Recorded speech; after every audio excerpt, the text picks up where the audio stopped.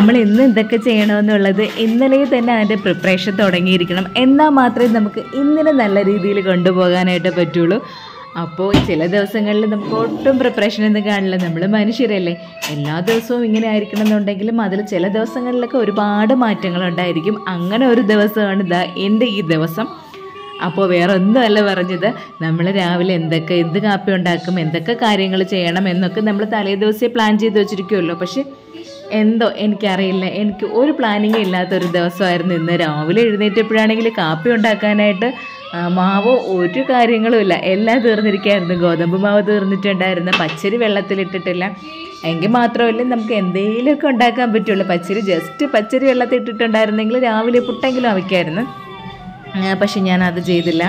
ദോശയ്ക്കില്ല അപ്പത്തിനില്ല ഒന്നിനും മാവില്ലായിരുന്നു. അപ്പോൾ ഞാൻ നമ്മൾ കുറച്ച് സമയം ഇങ്ങനെ തല പോഞ്ഞ് നിൽക്കുമല്ലോ ഈശ്വര ഇന്നിന് എന്ത് രാ എന്ത് കാപ്പി ഉണ്ടാക്കും രാവിലെ?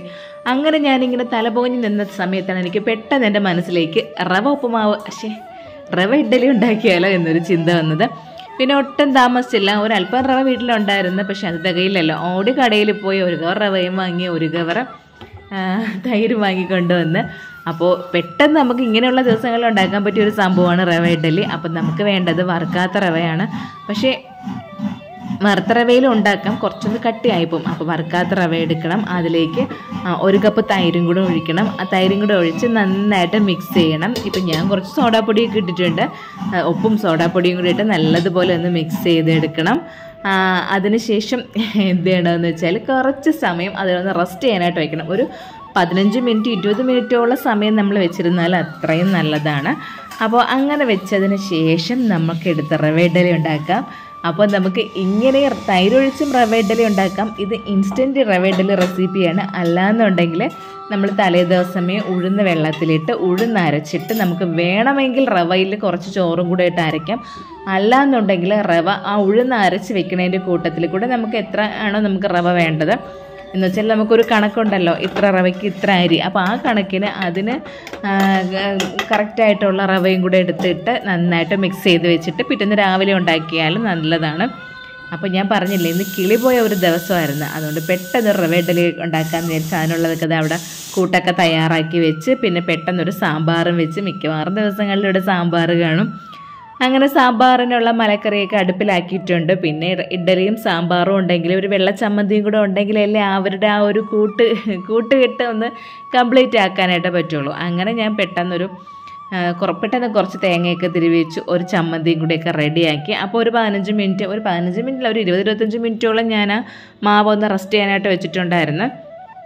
അതിനുശേഷം അതിനെ എടുത്തിട്ട് നല്ല റവ ഇഡലി ഉണ്ടാക്കിയെടുത്ത് അപ്പോൾ നമുക്ക് പെട്ടെന്ന് അപ്പോൾ അത് കഴുകി എന്തിനാണെന്ന് മനസ്സിലായി കാണുമല്ലോ പെട്ടെന്ന് നമുക്ക് ഇളക്കി എടുക്കണമെന്നുണ്ടെങ്കിൽ ഒന്ന് വെള്ളം നനച്ചാലേ പറ്റുള്ളൂ. എനിക്ക് ഇഡ്ഡലിയുടെ മേത്ത് വെള്ളം ഒഴിക്കാനായിട്ട് എന്തോ പോലെ തോന്നും. അതുകൊണ്ട് ഞാൻ അതിനെ തിരിച്ചു വെച്ചിട്ട് ആ ബാക്ക് സൈഡിലാണ് വെള്ളം അങ്ങ് ഒഴിക്കുന്നത്. അപ്പോൾ വെള്ളം ഒരുപാട് സമയം ഒഴിക്കുമ്പോഴേക്കും അവിടെ ഒന്നെങ്കിലും തണുത്ത് വരുമല്ലോ.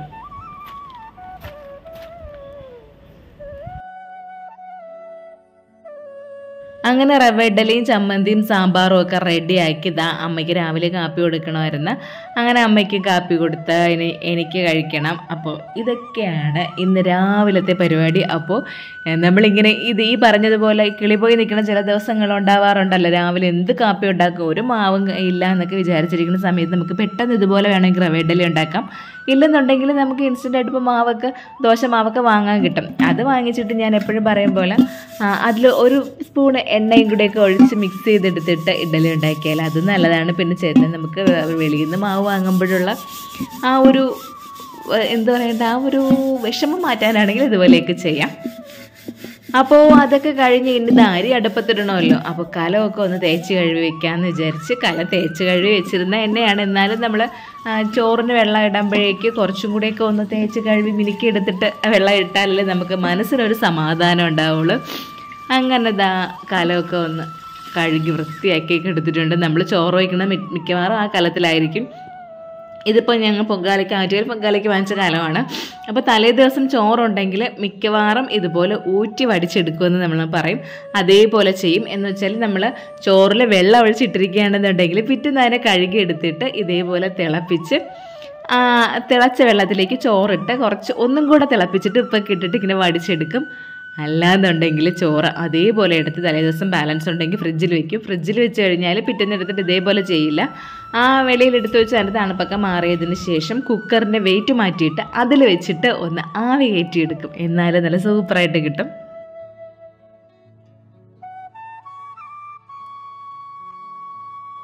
അപ്പോൾ അതൊക്കെ കഴിഞ്ഞിട്ട് ചന്തയിൽ പോയായിരുന്നു. ചന്തയിൽ പോയപ്പോഴേക്കും നല്ല വാള മീനാണ് കിട്ടിയത്. ചന്തയിൽ പോണ കാര്യം പറയാതിരിക്കേണ്ടതായിരുന്നു. രസം ചന്തയിൽ പോയപ്പോഴേക്കും ചന്ത നേരെ കഴിഞ്ഞിട്ടുണ്ടായിരുന്നു. ഞങ്ങളുടെ ഇവിടെ ചന്ത കൂടുന്നത് മെയിൻ റോഡിലാണ് അപ്പോൾ ഒരുപാട് സമയം ചന്തയില്ല.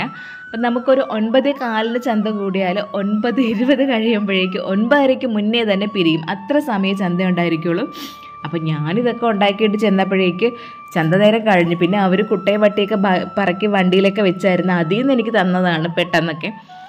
അങ്ങനെ ഒരു നാലോ നാലോ അഞ്ചോ എണ്ണം ഉണ്ടായിരുന്നെന്ന് തോന്നുന്നു. ഇപ്പം മറന്നുപോയി വാള കിട്ടി.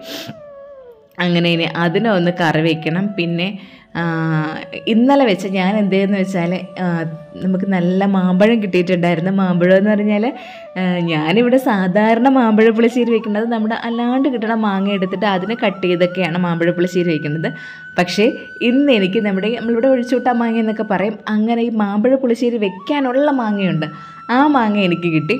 അപ്പോൾ ഞങ്ങൾ ഞങ്ങളവിടെ കടയിലെടുത്ത് കുളത്തൂർ ചന്തയിൽ നിന്നാണ് കിട്ടിയത്. അവിടെ ആറെണ്ണം ഇരുപത് രൂപയ്ക്ക് അവിടെ കൂറിട്ട് വെച്ചിട്ടുണ്ടായിരുന്നു.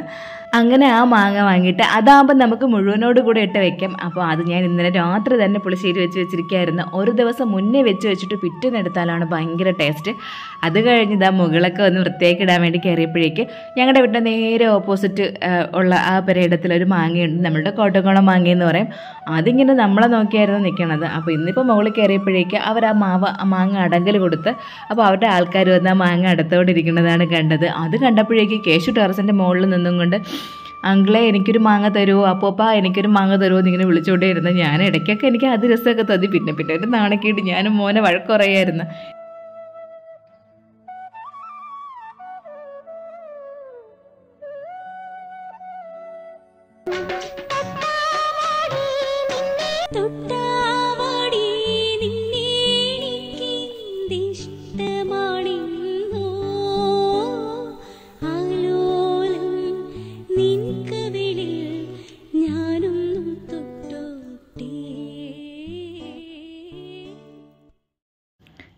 കേശു അവിടെ നിന്ന് വിളിച്ച് ചോദിച്ചാൽ എന്ത്? അവർ മാങ്ങയെല്ലാം അടത്ത് കഴിഞ്ഞപ്പോഴേക്ക് ഒരു കവറിൽ ഇതാ കുറേ മാങ്ങ കൊണ്ടുവന്ന് ഞങ്ങൾക്ക് വിളിച്ച് തന്നിട്ടുണ്ടായിരുന്നു.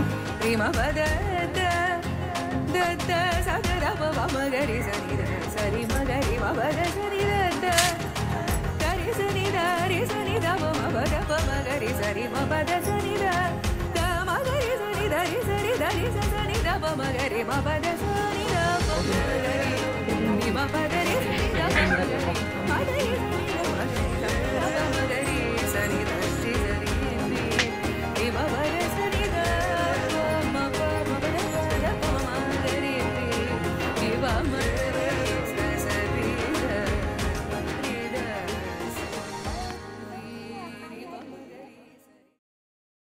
സത്യം പറഞ്ഞാൽ മോൻ ആദ്യമൊക്കെ മാങ്ങ വിളിച്ച് ചോദിച്ചപ്പോഴും ഞാൻ അവനെ ആ മോനെ ചോദിക്കേണ്ടെന്നൊന്നും പറഞ്ഞില്ല. കിട്ടിയാ ഊട്ടി ഇല്ലെങ്കിൽ ചട്ടി എന്നുള്ള രീതിയായിരുന്നു.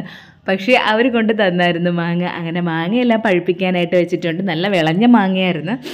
അപ്പോഴാണ് ദാ നെത്തോലി മീൻ അതൊഴി കൊണ്ടുപോയത്. ഇപ്പം നെത്തോലി കാണുമ്പോൾ വറ്റിച്ച് വെക്കാനായിട്ട് ഭയങ്കര ഇഷ്ടമാണ്. പ്രത്യേകിച്ച് മാങ്ങയും കൂടി ഇരിക്കുകയല്ലേ?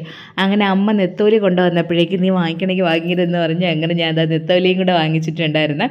ഇനി നെത്തോലി നുള്ളിയൊക്കെ എടുത്ത് അതിനൊന്ന് വൃത്തിയാക്കി എടുക്കണം. പിന്നെ വേറൊരു കാര്യമുള്ളത് ഈ നെത്തോലി നുള്ളിക്കഴുവി എടുക്കുന്നത് ഭയങ്കര മെനക്കേടാണ്. നമ്മൾ വേറെ ഏത് മീനായാലും വാളയൊക്കെ ഞാൻ ഞാൻ നിസ്സാരം പോലെയൊക്കെ കട്ട് ചെയ്തെടുത്ത്. പക്ഷെ നെത്തോലിയാണെങ്കിൽ എത്ര സമയം നിൽക്കണം അതിന്റെ നുള്ളി എടുക്കാനായിട്ട്. ഈ പറയും പോലെ കുറേ നാളായി ഞാൻ എന്താ ഈ വക ഈ വക കലാപരിപാടികളൊക്കെ ചെയ്തിട്ട് അമ്മയല്ലേ ഇതൊക്കെ ചെയ്തുകൊണ്ടിരിക്കുന്നത്. എനിക്ക് ഇതൊത്തിരി ബുദ്ധിമുട്ടുള്ള കാര്യമാണ് നെത്തോലി എന്നുള്ളത് കല്യാണത്തിന് മുന്നേ ആണെങ്കിലും നെത്തോലി വാങ്ങിക്കൊണ്ട് വന്നാൽ അമ്മ അത് നുള്ളാൻ തരും.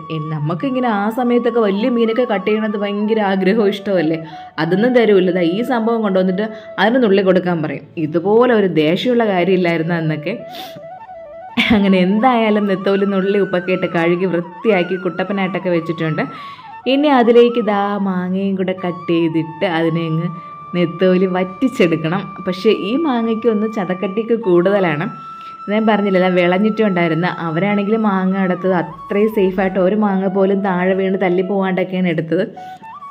അങ്ങനെ ഒരു മാങ്ങ ഞങ്ങൾ അപ്പം തന്നെ സഹി ഇട്ടിട്ട് അപ്പോഴേ കട്ട് ചെയ്ത് കഴിച്ച് ഒരു മാങ്ങ അതാ മീനിലിടാനായിട്ടൊക്കെ എടുത്ത് വെച്ചിട്ടുണ്ടായിരുന്നു. ഇനി ആ മാങ്ങ പഴുക്കാനൊന്നും ഇരിക്കൂല. നമ്മൾ പഴുക്കാനെന്നുള്ള രീതിയിൽ കലത്തിലൊക്കെ അടച്ച് വെച്ച് ഇന്ന് രാത്രി തൊട്ട് മാങ്ങ എടുത്തു തുടങ്ങും. അത് വേറൊരു കാര്യമാണ്.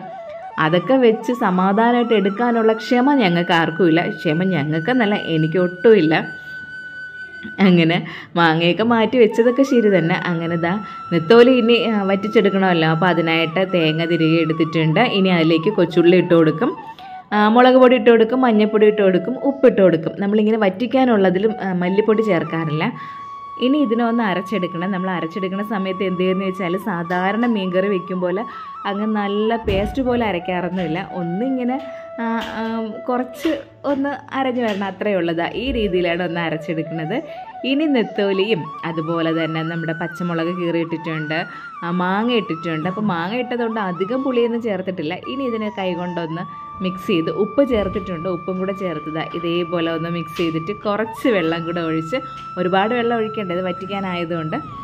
ഇനി അങ്ങ് വെച്ചിട്ട് ഒന്ന് തിളച്ച് വേവിച്ചെടുത്താൽ നല്ല ടേസ്റ്റാണ് ഞങ്ങളുടെ വീട്ടിൽ ഇതേപോലെ നെത്തോലി ഇങ്ങനെ വറ്റിച്ചെടുക്കുന്ന പരിപാടിയില്ലായിരുന്നു. അമ്മ അല്ലാണ്ട് കറി ഉള്ളൂ. പണ്ടൊക്കെ നെത്തോലി മീനെന്ന് പറഞ്ഞാൽ അയ്യോ കണ്ണ് ദൃഷ്ടിയിൽ കണ്ടുകൂടായിരുന്നു. ഒട്ടും ഇഷ്ടമല്ലാത്തൊരു മീനായിരുന്നു നെത്തോലി. അപ്പോൾ ഞാൻ കല്യാണം കഴിഞ്ഞ് വന്ന സമയത്ത് ഇവിടെ തമ്മ ഇതുപോലെ ഇങ്ങനെ നെത്തോലി വറ്റിക്കും. ആ സമയത്ത് എനിക്കിതിന്റെ ഈ ആ വറ്റിച്ചെടുക്കണതിന്റെ ആ ഒരു പച്ചമണമൊക്കെ ആ സ്മെല്ലടിക്കുമ്പോഴേ എനിക്ക് എന്തോ പോലെ തോന്നുമായിരുന്നു. കുറേ നാൾ ഇതൊന്നും കഴിക്കില്ല. പിന്നെ വീണ്ടും നമ്മൾ അതുമായിട്ട് അങ്ങ് യൂസ്ഡ് ആകുമല്ലോ അതേപോലെ ആ അവരുടെ ആ ശീലങ്ങളായിട്ട് നമ്മളങ്ങ് പൊരുത്തപ്പെട്ട് വരുമ്പോഴേക്ക് ഇതൊക്കെ ഇപ്പം എന്റെ ഫേവറേറ്റ് ആയി മാറിയിട്ടുണ്ട്. ആ മണ്ണ് അത്രയും നോക്കിക്കണതുകൊണ്ട് അവിടെ അത്രയും വാരി ഇട്ടിരിക്കണ് വാ വാ മതി കയറ് മണ്ണെന്നെങ്കിൽ കയറ് അതിന്റെ ഇടയിലൊക്കെ വല്ലത് കാണും എന്നാൽ എപ്പോഴും അരണയുള്ളതാണ് അവിടെ. മോങ്ങി കയറ്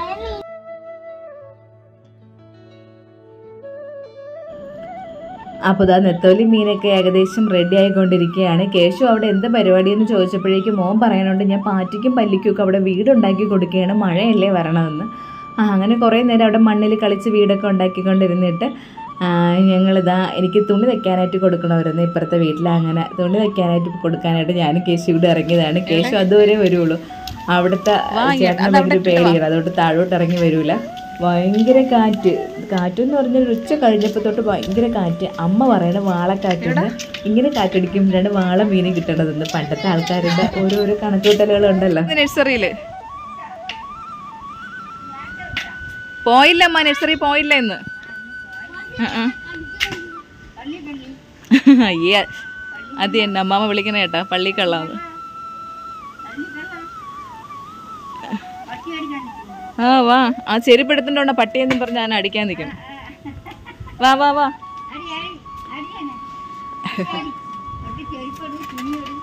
ഓ.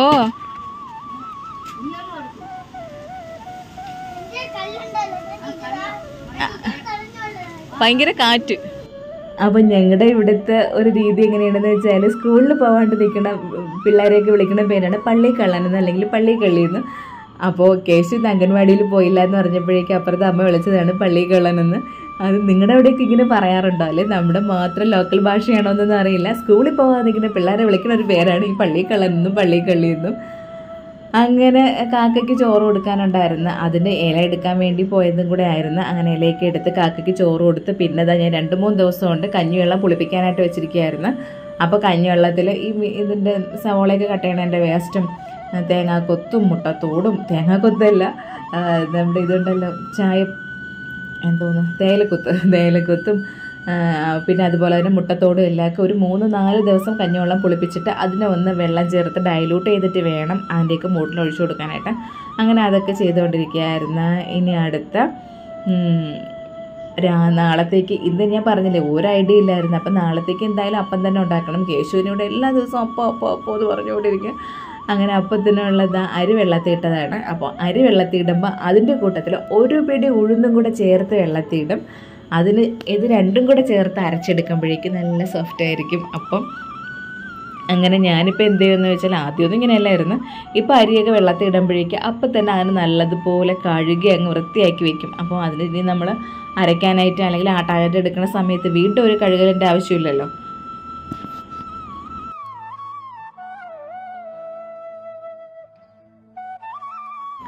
അപ്പോഴേക്കും ദാ ഇവിടെ നമ്മുടെ ചോറും ഒക്കെ റെഡി ആയിട്ടുണ്ട്. അപ്പോൾ ഇനി ചോറ് കഴിക്കണം.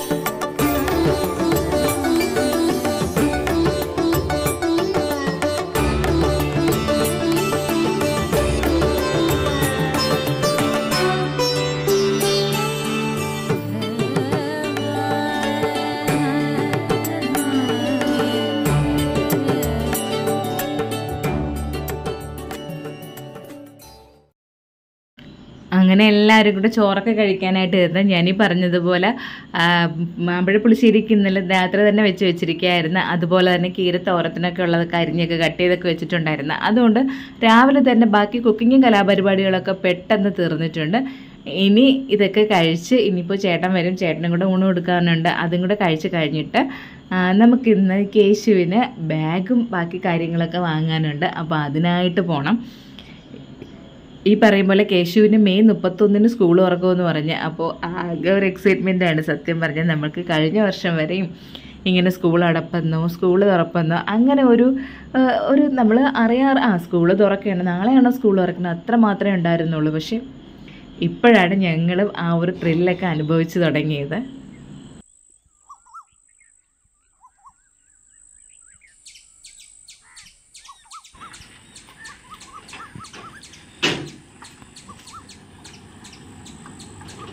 അങ്ങനെ ഞങ്ങൾ ഇതാ കേശുവിന് ബാഗൊക്കെ വാങ്ങാനായിട്ട് പോവാനായിട്ട് ഇറങ്ങി. ഞങ്ങൾ ലുലുവിലാണ് പോണത്. അപ്പോൾ കേശുണ്ട് ഞാനുണ്ട് ചേട്ടനുണ്ട് അനന്തമുണ്ട് അപ്പോൾ ഞങ്ങൾ ഇത്രയും പേരും ഉണ്ട് പിന്നെ അച്ഛനും അമ്മയും ഉണ്ട്. അപ്പോൾ ഇന്ന് കേശുവിന് ബാഗും ബാക്കി സാധനങ്ങളും കുറേ ഈ സ്കൂൾ അക്സസറീസ് ഒക്കെ വാങ്ങിച്ച് തരണത് അച്ഛനും അമ്മയും കൂടെയൊക്കെ ചേർന്നിട്ടാണ്. അപ്പോൾ ഞങ്ങളിതാ കേശുവിന്റെ യൂണി യൂണിഫോം അല്ലല്ലേ? ബാഗ് വാങ്ങിക്കാൻ പോവുകയാണ് ബാഗ് വാങ്ങിക്കണം ബുക്ക് വാങ്ങിക്കണം. എവിടെ പോണേ കേശു കുട്ടാ ബാഗ് പറയണ്ട എവിടെ പോണത്?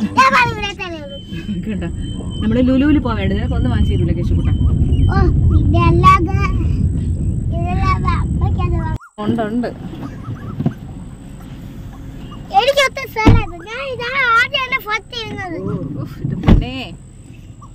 തല നോക്കുന്ന അച്ഛന്റെ തല നോക്കിട്ടാണ് ചിരിക്കുന്നത് എന്തരടാ എന്റെ അച്ഛന്റെ തലയ്ക്ക് കുഴപ്പം? തലച്ചോറില്ല. തലച്ചോറില്ലെന്ന്.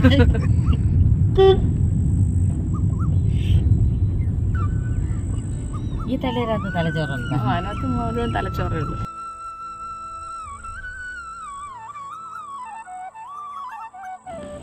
ഇപ്പോൾ ഇനി ഏത് കടകളിൽ പോയി നോക്കിയാലും അവിടെ മൊത്തം തിരക്കാണ്. ഈ പിള്ളേർക്ക് സാധനങ്ങൾ വാങ്ങണതിന്റെത് അങ്ങനെ ഞങ്ങൾ ഇതാ ലുലു എത്താറായി. എല്ലാവരും കൂടെ പൊയ്ക്കൊണ്ടിരിക്കുകയാണ് ലുലുവിലോട്ട് അപ്പോൾ അവിടെ ചെന്ന് നോക്കിയിട്ട് അവിടെ എന്തെങ്കിലും റേറ്റ് കൂടുതലോ അങ്ങനെ എന്തെങ്കിലും ഒക്കെ ഉണ്ടെങ്കിൽ നേരെ രാമചന്ദ്രനിലോട്ടോ. അല്ലാണ്ട് ഗവൺമെന്റിന്റെ തന്നെ ഈ ഒരു ഒരു സ്റ്റോൾ ഇങ്ങനെ ഉണ്ടെന്ന് പറഞ്ഞ് സ്റ്റാച്യൂവിൽ അല്ലെങ്കിൽ അങ്ങോട്ടോ പോകാമെന്ന് വിചാരിച്ച് എന്തായാലും ലുലു ഉള്ളതുകൊണ്ട് ആദ്യം നമ്മൾ പ്രിഫർ ചെയ്യുന്നത് ലുലു ആയിരിക്കും.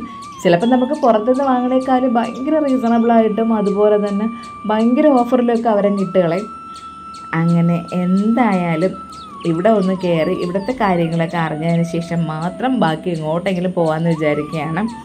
അപ്പോൾ ചെന്നപ്പോഴേ കാർ പാർക്കിങ്ങിന് പോലും സ്ഥലം കിട്ടണില്ല. അപ്പോഴേ മനസ്സിലായി ഉള്ള ആൾക്കാർ ലോകത്തുള്ള മുഴുവൻ ആ ലുലുവിനകത്ത് തന്നെ ഉണ്ടെന്ന്. അങ്ങനെ ഒരുവിധം കാറിൽ പാർക്ക് ചെയ്യാനൊക്കെ കിട്ടിയിട്ട് ഞങ്ങളിതാ മുകളിലോട്ട് കയറിക്കൊണ്ടിരിക്കുകയാണ്. ആദ്യത്തെ പ്രാവശ്യം നമുക്ക് ഈ പറയും പോലെ പണി കിട്ടിയായിരുന്നു. കാറ് കൊണ്ടിട്ടിട്ട് നമുക്കിങ്ങനെ ഫോട്ടോ എടുക്കണമെന്നുള്ളതിനുള്ള വിവരമൊന്നും ഇല്ലായിരുന്നു. കുറേ അലഞ്ഞ് കാറ് കണ്ടുപിടിക്കാനായിട്ട് അപ്പോഴാണ് ആ സെക്യൂരിറ്റിക്കാരൻ പറഞ്ഞത് നിങ്ങൾ ഇനി കാറ് കൊണ്ടിടുമ്പോഴേക്കും അവിടുത്തെ ഫോട്ടോ എടുത്ത് വെച്ചിരിക്കണമെന്ന് വേറൊന്നുമല്ല ചിലപ്പം നമ്മൾ എ ടെന്നിലായിരിക്കും ഇടുന്നത് പക്ഷെ നമ്മൾ നമുക്ക് ഒരു ഫോട്ടോ എടുക്കേണ്ട ആവശ്യമൊന്നുമില്ല. എ ടെന്നല്ല അത് മറക്കാനൊന്നും പോകണില്ല എന്ന് പറയും തിരിച്ചിറങ്ങാൻ നമ്മൾ ഒന്നും കൂടി ആലോചിക്കും. എ ടെൻ ആണോ ടെൻ എ ആണോ? അതോടെ തീർന്ന്. ടെൻ എ എന്ന് പറയുമ്പോൾ വേറെ എങ്ങോട്ടൊക്കെ സ്ഥലത്തായിരിക്കും. ആണെങ്കിൽ മാത്രമേ നമ്മൾ ഇട്ട സ്ഥലം കിട്ടുള്ളൂ. അങ്ങനെ എന്തായാലും ദാ ലുലു ഹൈപ്പർ മാർക്കറ്റിന്റെ ഫ്രണ്ടിലായിട്ട് അവർ ബാക്ക് ടു സ്കൂൾ എന്ന് പറഞ്ഞൊരു മെട്രോ സ്റ്റേഷൻ തന്നെ ഒരുക്കിയിട്ടുണ്ടായിരുന്നു. സാധനങ്ങളൊക്കെ ദാ വാരി വലിച്ചിട്ടിട്ടുണ്ട്. അപ്പോൾ അതിനകത്തോട്ട് കയറാൻ പോലും പറ്റാത്ത അത്ര തിരക്കായിരുന്നു. എന്തായാലും നമ്മളും ഇടുത്തി തള്ളിയൊക്കെ അകത്ത് കയറി കേശുവിന് ബാഗ് വാങ്ങണം. അപ്പോൾ ഇവിടെ നമ്മൾ ആദ്യം വാട്ടർ ബോട്ടിൽ അച്ഛനാണെങ്കിൽ ഇത് കണ്ടപ്പോൾ തൊട്ട് ഇത് മതി ഇത് മതി എന്ന് പറഞ്ഞ് നിൽക്കുകയായിരുന്നു. അപ്പോൾ അതങ്ങ് ഇഷ്ടപ്പെട്ട് അങ്ങനെ ആ ഒരു വാട്ടർ ബോട്ടിൽ എടുത്ത് പിന്നെ അതുമല്ല കേശുവിന് ലഞ്ച് ബോക്സ് ഒക്കെ വാങ്ങണമായിരുന്നല്ലോ. അപ്പോൾ ഒന്നിനും വില കുറവൊന്നുമില്ല. ഈ പറയും പോലെ നമ്മൾ വിചാരിച്ചിരിക്കുന്നത് നമുക്ക് ഇതൊക്കെ ഇപ്പോൾ ചെരുമേച്ചിയൊക്കെ പറയുമ്പോഴും നമുക്ക് ആ ഒരു ഐഡിയ ഇല്ല. നമ്മൾ നമ്മൾ പഠിച്ച സമയത്തുള്ള റേറ്റ് വെച്ചിട്ടാണ് മനസ്സിൽ കാൽക്കുലേറ്റ് ചെയ്യണത്. ഓരോ ലഞ്ച് ബോക്സിന്റെയൊക്കെ വില കാണുമ്പോൾ ഈശ്വര തലയിൽ കൈവച്ച് പോകും നമ്മൾ വാട്ടർ ബോട്ടിലൊക്കെ നമ്മൾ പഠിച്ചിരുന്ന സമയത്ത് അമ്മ പറയുന്നുണ്ട് മുപ്പത് രൂപയ്ക്കൊക്കെയാണ് വാങ്ങണതെന്ന്. ആ സ്ഥാനത്ത് ഇപ്പോൾ കേശൂര് വാങ്ങിയപ്പോഴേക്കും നാനൂറ്റി മുപ്പത് രൂപയോളമായി ആ വാട്ടർ ബോട്ടിലിന് പിന്നെ നമ്മൾ സ്കൈയുടെ ബാഗാണ് എടുത്തത്. നല്ല കമ്പനിയാണ് സ്കൈ അപ്പോൾ അതിന് ആയിരത്തി അറുന്നൂറ് രൂപയുടെ ബാഗിന് അവർ ഫിഫ്റ്റി പെർസെന്റേജ് ഓഫർ ഇട്ടിട്ട് എണ്ണൂറ് രൂപയ്ക്കാണ് നമുക്ക് ബാഗ് കിട്ടിയത്. അങ്ങനെ സ്കൈയുടെ ബാഗ് വാങ്ങിച്ച് മിൽട്ടന്റെ ലഞ്ച് ബോക്സ് വാങ്ങിച്ച് എല്ലാം മോന് നല്ലത് തന്നെ ഇരിക്കട്ടെ എന്ന് നമുക്ക് പിന്നെ ഒന്നല്ലേ ഉള്ളൂ. നമ്മൾ ആറ്റുനോറ്റിരുന്ന് കിട്ടിയ ഒരു ഉണ്ണിയും കൂടെയാണ്. അപ്പോൾ അതുകൊണ്ട് അവന്റെ കാര്യത്തിന് ഒന്നിനും ഒരു കുറവും വരുത്തണ്ട എന്ന് വിചാരിച്ചിട്ട് എല്ലാം നല്ല സാധനങ്ങൾ തന്നെ വാങ്ങാനായിട്ട് വിചാരിച്ചുകൊണ്ടിരിക്കുകയായിരുന്നു അപ്പോഴാണ് ഇതെല്ലാം അച്ഛനും അമ്മയും സ്പോൺസർ ചെയ്തത്. അവരും അങ്ങനെ അതിനൊരു കുറവും വരുത്തിയില്ല. എല്ലാം നല്ലത് തന്നെ വാങ്ങാം. നിങ്ങൾക്ക് ഇഷ്ടമുള്ള എന്താണോ അത് വാങ്ങാനായിട്ട് പറഞ്ഞ് കേശുവിനാണെങ്കിൽ വീട്ടിൽ നിന്ന് വെളിയിൽ ഇറങ്ങിയാൽ അപ്പം തുടങ്ങും വിശപ്പ്. ഇനി എത്ര വയറ് നിറച്ച് വീട്ടിൽ നിന്ന് ഫുഡ് കഴിച്ചുകൊണ്ട് ഇറങ്ങിയ ആളാണെങ്കിലും പുറത്തിറങ്ങിയാൽ അയ്യോ വിശന്ന് വയ്യ വിശന്ന് വയ്യ എന്ന് പറയും. പ്രത്യേകിച്ച് കേശു ലുലുവിൽ വരണത് തന്നെ അവിടുത്തെ സമൂസ കഴിക്കാൻ വേണ്ടിയാണ്. അപ്പോൾ അവിടെ മറ്റേ നോർത്ത് ഇന്ത്യൻ സ്റ്റൈലിലുള്ള സമൂസയാണ്. ഭയങ്കര റേറ്റുമാണ് നാൽപ്പതോ നാൽപ്പത്തഞ്ചോ രൂപയാണ് ആ സമൂസയുടെ റേറ്റ് അപ്പോൾ അത് കഴിച്ച് കഴിഞ്ഞപ്പോഴേക്ക് പിന്നെ ഐസ്ക്രീം വേണമെന്ന് പറഞ്ഞ്. ഞാൻ ഐസ്ക്രീമൊക്കെ വാങ്ങിച്ചു കൊടുത്ത് അപ്പോൾ രണ്ടുപേരെയും കൂടെ അവിടെയും ഇരുത്തിയിരുന്ന്. അപ്പോൾ നമുക്ക് നിൽക്കുമ്പോൾ കാണാൻ നേരെ ഓപ്പോസിറ്റ് തന്നെ ഇരുന്ന് മെട്രോ സ്റ്റേഷൻ എന്താ നല്ല തിരക്കാണ്. ഇതിന്റെ ഇടയിൽ കേശുവിനെ കൊണ്ട് കയറിയിട്ട് ഒരു രക്ഷയും ഇല്ല. ആദ്യം നമ്മളൊന്ന് കേണ കൊണ്ട് കയറിയൊക്കെ നോക്കി. പിന്നെ രക്ഷയില്ല. അങ്ങനെ അവിടെ നിന്ന് അവിടെ നിന്ന് വേണ്ട സാധന സാമഗ്രികളൊക്കെ വാങ്ങിച്ചിട്ട് പിന്നെ റെയിൻകോട്ട് വാങ്ങണമല്ലോ. അപ്പോൾ റെയിൻകോട്ട് വാങ്ങാനായിട്ട് നമ്മൾ ലുലു ഫാഷൻ സ്റ്റോറിൽ മുകളിലാണ് പോയത്. അങ്ങനെ അവിടെ പോയി നോക്കി നോക്കി നോക്കി നോക്കി അവസാനം ഒരു റെയിൻകോട്ട് കിട്ടി. ബാഗിന്റെ സെയിം വിലയായി റെയിൻകോട്ടിനും അതിന് ആ എണ്ണൂറ് രൂപ. അങ്ങനെ റെയിൻകോട്ടും വാങ്ങി. ഇനി നമുക്ക് ബുക്കും കാര്യങ്ങളും ഒന്നും നമുക്ക് ഇവിടെ നോക്കിയിട്ട് നമുക്ക് അത്ര അങ്ങോട്ട് ഇഷ്ടപ്പെട്ടില്ല. അപ്പോൾ അത് നമുക്ക് ഹൈപ്പർ മാർക്കറ്റിൽ നിന്ന് വാങ്ങാമെന്ന് വിചാരിച്ച അതാണെങ്കിൽ ഞങ്ങളുടെ വീടിന്റെ തൊട്ടടുത്തുമാണ് അങ്ങനെ ബാഗും വാട്ടർ ബോട്ടിലും ഒരു ലഞ്ച് ബോക്സും അങ്ങനെയുള്ള സംഭവങ്ങൾ. പിന്നെ ഇതായി റെയിൻകോട്ടൊക്കെ വാങ്ങിയിട്ട് ഇതാണ് കേശുവിന് ഫൈനലായിട്ട് എടുത്ത റെയിൻകോട്ട് ഇതൊക്കെ വാങ്ങിക്കൊണ്ട് ഞങ്ങൾ നേരെ ഒരു ഹൈപ്പറിൽ വരാമെന്ന് വിചാരിച്ച്.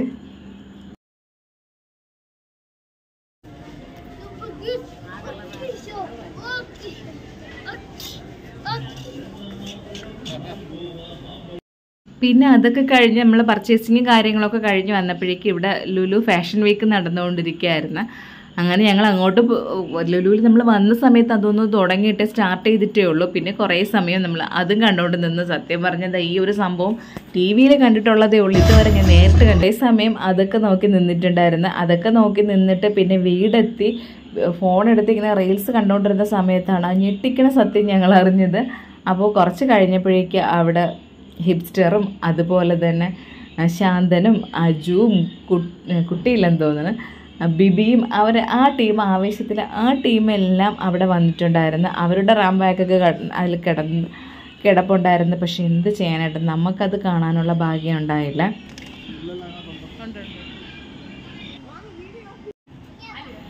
തിരിച്ച് പാർക്കിംഗ് സെക്ഷനിൽ എത്തിയപ്പോഴേക്കാണെങ്കിൽ അവന്മാർക്ക് അവിടെ നിന്ന് ഡാൻസ് കളിക്കണമെന്ന് ഞാൻ പറഞ്ഞ് പിന്നെ എന്ത് കളിച്ചുകൂടാത്തത് അങ്ങനെ രണ്ടാളും കൊണ്ട് കുറച്ച് സമയം അവിടെ നിന്ന് ഡാൻസൊക്കെ കളിച്ച്.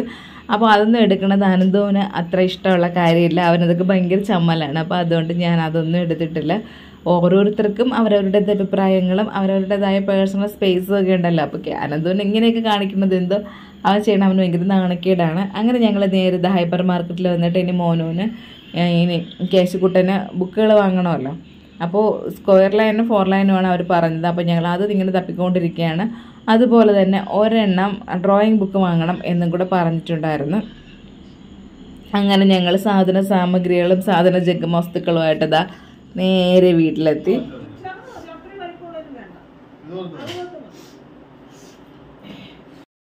ബാഗ് ലഞ്ച് ബാഗ് ഇതാ മൂന്ന് പാത്രം ലഞ്ച് ബോക്സൊക്കെ മൂന്നെണ്ണം ഉണ്ട്. ലഞ്ച് ബോക്സ് മൂന്നെണ്ണം എന്ന് പറയാൻ പറ്റില്ല. ലഞ്ച് ബോക്സ് ഒരെണ്ണേ ഉള്ളൂ. പിന്നെ സ്നാക്സ് ബോക്സുകൾ രണ്ടെണ്ണം വാങ്ങിച്ച് പിന്നെ ഞങ്ങൾക്ക് ഒരു അബദ്ധം കൂടെ പറ്റി ഞങ്ങൾ ലഞ്ച് ബോക്സ് ഒരെണ്ണം ഞാൻ പറഞ്ഞല്ലോ മിൽട്ടന്റെ അത് ഏകദേശം നാനൂറ്റി തൊണ്ണൂറോ അഞ്ഞൂറോ എന്തോ രൂപയായിരുന്നു അതാണ് വാങ്ങിയത്. അതല്ലാണ്ട് രണ്ടെണ്ണം അഡീഷണൽ വേണം. മോർണിംഗിന് രാവിലെ അവർക്ക് കൊടുക്കാനും ഈവനിങ് സ്നാക്സ് ആയിട്ടും. അപ്പോൾ ഞങ്ങൾ അങ്ങനെ ഒരെണ്ണം വാങ്ങിക്കൊണ്ട് വന്നത് പ്ലാസ്റ്റിക് ആയിരുന്നു ഫുള്ള്. അപ്പോൾ അത് സ്കൂളിൽ അലൗഡ് ചെയ്യില്ല എന്ന് ചേച്ചി പറഞ്ഞപ്പോഴേക്കും ഞങ്ങൾ അത് കൊണ്ടുപോയി മാറ്റാമെന്ന് വിചാരിച്ചിരിക്കുകയാണ്. അപ്പോൾ ഇതാണ് മോന്റെ റെയിൻകോട്ട്. കേശുവിന് ഭയങ്കര ഇഷ്ടപ്പെട്ട റെയിൻകോട്ടും ഒക്കെ ഇട്ട് പോയപ്പോൾ അവൻ വേറെ എവിടെയോ നിൽക്കും പോലെ ഒരു ഫീലായിരുന്നു അവന്. ഞങ്ങൾ ഇങ്ങനെയുള്ള സാധനം ഇതൊക്കെ വാങ്ങിച്ചിട്ട് തൊടാൻ സമ്മതിക്കാതെ മാറ്റി വെച്ചിരിക്കുന്നത് കൊണ്ട് കൂടെ കൂടെ ഇങ്ങനെ ചെന്ന് തുറന്നൊക്കെ നോക്കിയിട്ട് ഒന്ന് തട്ടി ബാഗിലൊക്കെ ഒന്ന് തട്ടി തടവിയിട്ട് പോണത് കാണാം. അങ്ങനെ ദാ ഇതൊക്കെയാണ് കേശുവിന്റെ സാധനങ്ങൾ ഇതാ കണ്ടില്ലേ? കഴിക്കാനായിട്ട് മൂന്ന് ബോക്സ് ഇത് മിൽട്ടന്റെ ബോക്സ് ഇത് ഏകദേശം അഞ്ഞൂറ് അഞ്ഞൂറ്റി തൊണ്ണൂറ് അങ്ങനെ എന്തോ ആയിരുന്നു റേറ്റ് പിന്നെ സാധാരണ നമ്മുടെ സാധാരണ ചോറ്റുപാത്രം ഇല്ലേ? അതുപോലത്തെ ഒരു ചോറ്റുപാത്രം. അതുപോലെ ഞങ്ങളിവിടെ ചോറ്റുപാത്രത്തിന് ഞങ്ങളുടെ ഇവിടേക്ക് ചോറ്റുപാത്രം എന്ന് തന്നെയാണ് നമ്മൾ ചോറുണ്ട് ചോറ്റുപാത്രം എന്ന് പറയാറില്ല. ചോറോടുകൂടെ പാത്രം എന്ന് പറയും. ഞാൻ കല്യാണം കഴിഞ്ഞ് ചെന്ന സമയത്ത് അമ്മ എന്നോട് പറഞ്ഞു അടുക്കളയിൽ ഇരിക്കുന്ന സമ്പടം അങ്ങ് എടുത്തുകൊണ്ട് വന്നു. ഞാൻ ഈശ്വര ഇതിപ്പോൾ എനിക്കറിയാം അമ്മ സമ്പടം എന്തോന്നാണെന്ന്. ഞാൻ വിചാരിച്ച് എന്തെങ്കിലും കഴിക്കാനുള്ള സാധനം അല്ലെങ്കിൽ അങ്ങനെ എന്തെങ്കിലും കഴി കറി കഴിക്കാനായിട്ട് കറികളിൽ ഇടാനുള്ള സാധനം എന്തോ ആയിരിക്കും. എന്ന് വെച്ചാൽ ഫ്രിഡ്ജ് മൊത്തം അരിച്ച് തറപ്പിട്ട് ഈ സമ്പടം കാണാനില്ല. പിന്നെ അമ്മയോട് നമ്മൾ കല്യാണം കഴിഞ്ഞ് ചെന്ന സമയത്ത് അറിയാമല്ലോ നമ്മൾ ഭയങ്കര വിനീത കുലീനരായിട്ടൊക്കെ ആയിരിക്കുമല്ലോ നിൽക്കുന്നത് എനിക്ക് ഞാൻ ചോദിക്കാൻ ഒരു മടിയായിരുന്നു. അവസാനം ഞാൻ ചോദിച്ച അമ്മ ഈ സമ്പടം എവിടെ ഇരിക്കുകയാണെന്ന്? അപ്പോൾ അമ്മായി അതിനകത്തില്ലേ എന്നും പറഞ്ഞ് വന്ന് എടുത്തപ്പോഴാണ് മനസ്സിലായത്. എവരീ സമ്പടം എന്ന് പറയുന്നത് നമ്മൾ ചോറുകൊണ്ടുള്ള പാത്രത്തിനായിരുന്നു എനിക്കറിയാമോ ഇത് സമ്പടമാണെന്നൊക്കെ. അങ്ങനെ അതൊക്കെ ഇപ്പോൾ പറഞ്ഞെന്ന കൂട്ടത്തിൽ പറഞ്ഞതേ ഉള്ളൂ. അപ്പോൾ ഇതാ കേശുവിന്റെ സാധനങ്ങളെല്ലാം വാങ്ങിച്ച് ബോക്സൊക്കെ വാങ്ങി സെറ്റാക്കിയിട്ടുണ്ട് അപ്പോൾ ആൾക്ക് നല്ല സന്തോഷവും ഉണ്ട് പക്ഷേ സ്കൂളിൽ പോകണമല്ലോ എന്ന് ആലോചിക്കുമ്പോൾ ചെറിയൊരു മനപ്രയാസം ഉള്ളതുപോലെ ഒരു തോന്നൽ എനിക്കിപ്പോൾ ഉണ്ട്.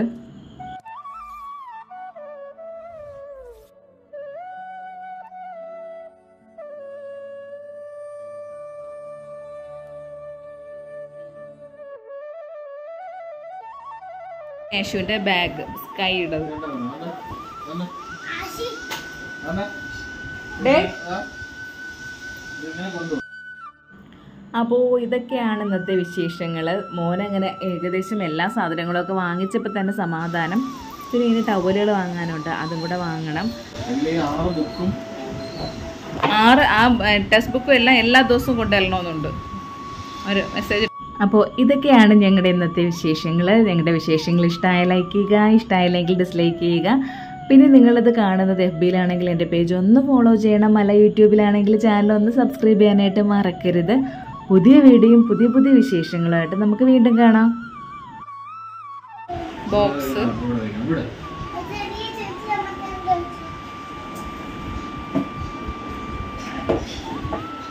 അപ്സരയുടെ പെൻസിൽ എനിക്ക് വയ്യ കേശോ?